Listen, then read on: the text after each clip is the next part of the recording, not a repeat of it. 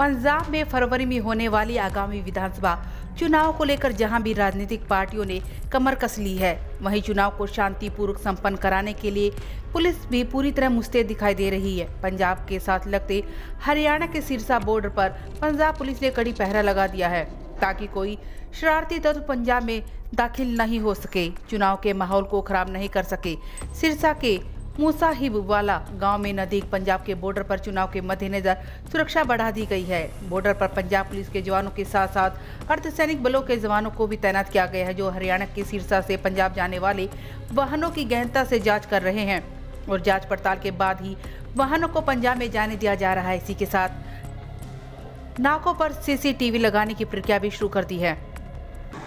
आ, हमारे इधर सरदूलगढ़ में चार बॉर्डर पड़ते हैं। जो इंटरस्टेट नाके लगाए हुए हैं इसमें हमारा पंजाब पुलिस जवान और सीआरपी पैरामिलिट्री फोर्स वगैरह लगाई गई हैं जो पूरे चोनों को लेके जो 2022 से चोना होनी है क्यों-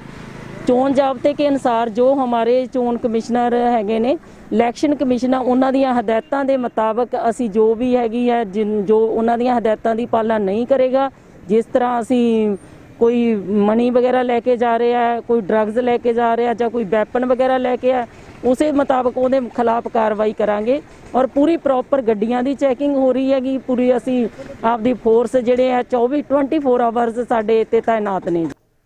सिरसा से सुरेंद्र सैनी की रिपोर्ट